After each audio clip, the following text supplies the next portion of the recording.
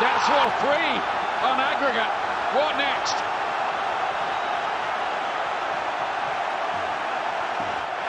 What an incredible way to get the three goals this evening. What a time that is, that's some of that smash.